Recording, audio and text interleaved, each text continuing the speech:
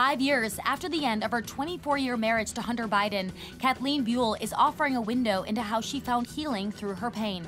In an interview for the new issue of People, which previews her upcoming memoir, If We Break, Kathleen says that she has forgiven President Joe Biden's younger son, whom with she shares three daughters, for his infidelities and lies. She adds, There was a lot that happened that was very hard for me.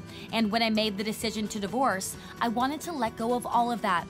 Kathleen also opens up about how after Hunter's brother Beau died of brain cancer in 2015, her husband began spending more time with Beau's widow, Hallie.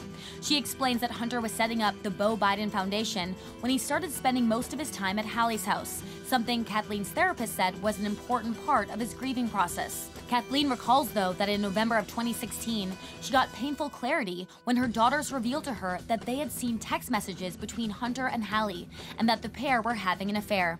Kathleen shares that after this secret was out, she felt a strange vindication, explaining, Not only had I not been crazy, but it was so much worse than I could have imagined. I was shocked, but not heartbroken. And now her post divorce journey has been undertaken outside the spotlight, occupied by her former in laws, who will be hosting her daughter Naomi's wedding at the White House in November. When asked about her relationship with the president and First Lady now, Kathleen says divorce impacts the whole family. She continues, We were all really close and it was painful. It was hard for a long time, but what we share now and we will share for the rest of our lives is this love for my three daughters.